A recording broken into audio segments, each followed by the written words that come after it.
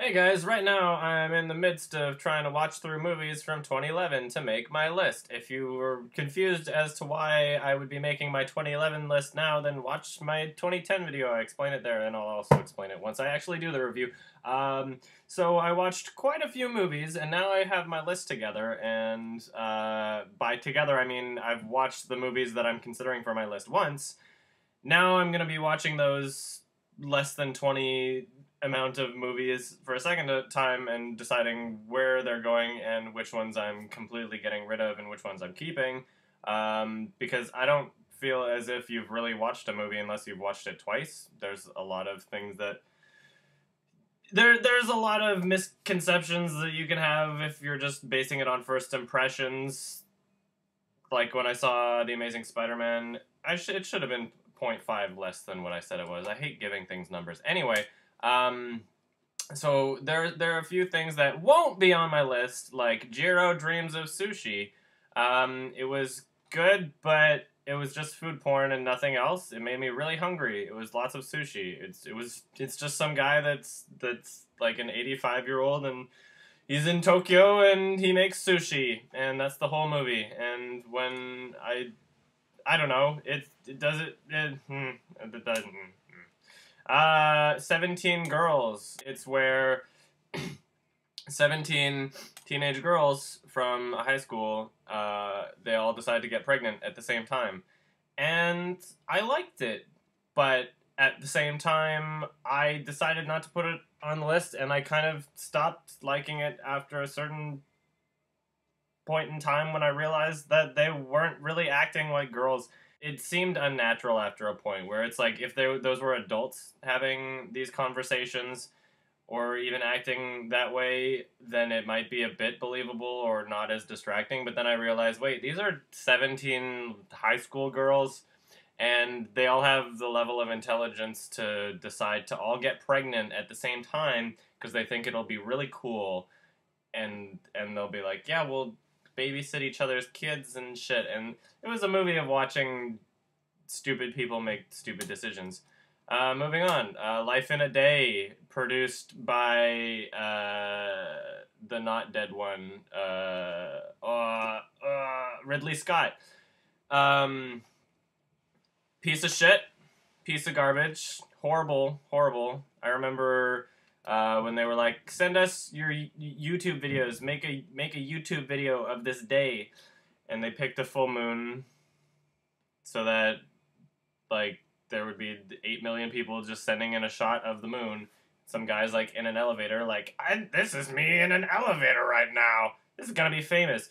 And like all of these individual videos are just so like not only boring but pointless and and trivial and none of it can possibly be natural because like every conversation you have you're you're filming it with the knowledge that you're going to be sending it in to be in a movie. So all of these like p- uh, parents filming their kids have a tantrum or like first day of shaving or like I'm waking up in the morning. Everybody's doing this horrible like I'm I'm posing for this and even the conversations where I'm like I don't believe that's even how you talk to your kid. This is how you talk to your kid when you're filming yourself talk to your kid. This is how you want to present yourself to the world. This is not how you act. And that bothered me and they put this like horrible fucking like it's so sad and and and uh, there's a lot more to it score you know where it's like piano music and and slow and you're like this is a thinking person's movie but it wasn't it was a piece of shit um, thin ice i was decently excited for this. It was very Coen Brothers esque in the sense that it was kind of the same setting and theme as Fargo. Of like, this is kind of a crime movie and it's kind of funny and kind of serious at the same time, and it's winter. Um, I definitely enjoyed myself enough to watch through it, but then they fucked up the ending so bad so so bad that I was sitting at a seven the whole time, like seven seven seven seven seven four. That was how bad the ending was. It was it was one of those like M Night Shyamalan like secretly everything was connected. It was bad. It was bad, bad, bad, bad. Megan is missing. Um, a secret comedy gem that nobody really knows about.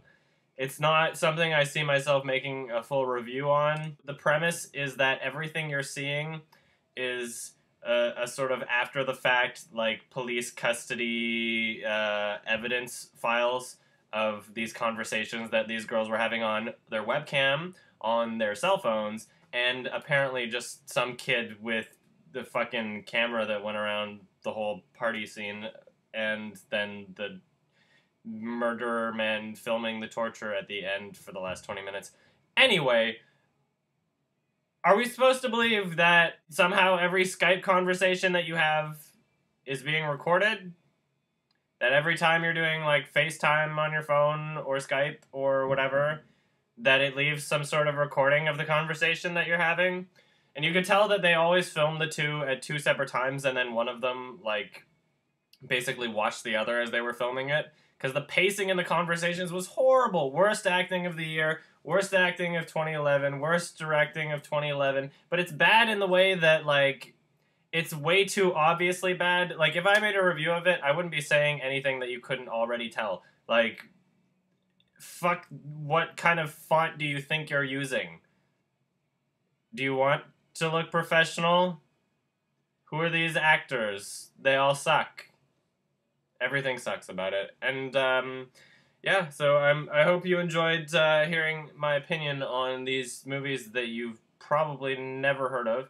But I've got some really good ones to recommend to you once I finish making that list. And trust me, I've watched so many fucking movies recently that I am about to kill myself. It's destroying me, and I've also got a fucking job because I can't afford to not afford my rent. Get it? Uh, ad money is now being generated to me because I found a kind of loophole. Link to the Facebook page of YMS below where I gave a more detailed description, but this video is already too long for a quickie anyway. Uh, long story short, I'm running ads on my reviews now fuck yeah. So all I gotta do is basically find a way that I can market myself towards a 12 year old audience, and then I'll be fine. So be prepared to see uh, basically anything intelligent removed from my videos. I'll probably use the YouTube editor to just remove all all of the arguments from any of my videos that might not be simple enough for people to understand that are 12. So um, expect to see a lot more uh, silly faces, and uh, ex- expect to hear a lot more screaming, and uh, that's how ads work nowadays.